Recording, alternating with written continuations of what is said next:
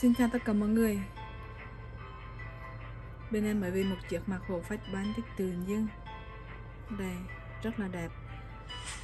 Cái mặt hồ phách này thì à, nó có hai phần. Một phần phía bên này, này thì có phá giữa màu vàng và cả cái vân.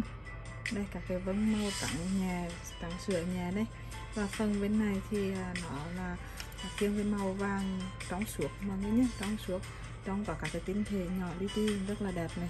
Móc á, đây là mặt sau mọi người nhé đây và cái um, móc thì có làm bằng bạc 925 mà vàng có có cái hình trái tim cách đều như thế này cũng rất là dễ thương.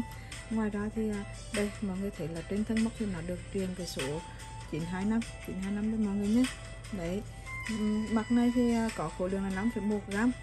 5,1 gram thông số là cao là 19 ngang 21 và dày 12 mm và giá là 1 triệu 600 nghìn 1 triệu 600 nghìn mọi người nhé. Em đến sẵn giấy cho mọi người xem rất là dễ thương luôn. Đó, nếu yêu thích thì mọi người vui lòng nhắn tin vào số zalo 0973 241 253 cho em để chốt đơn mọi người nhé. Xin cảm ơn tất cả mọi người đã chú ý theo dõi.